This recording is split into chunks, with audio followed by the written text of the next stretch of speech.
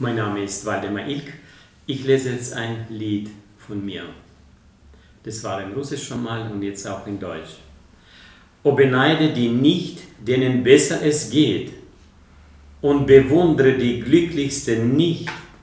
Sieh Christum dir an und sein Licht, das noch brennt. Er gibt Suchenden Wahrheit und Licht. Suche nicht deinen Vorteil und such nicht deinen Ruhm. Suche nicht mehr als andere zu sein. Sieh Christum dir an.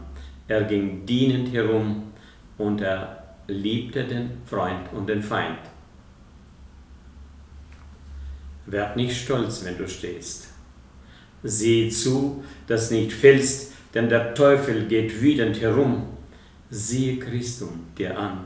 Er besiegte die Welt, doch er bat Gott um Stärke und Ruhe. Kränk dich nicht um Verluste, um irdischen Kram. Traure nicht, dass die Jahre fliehen fort. Sieh Christum dir an.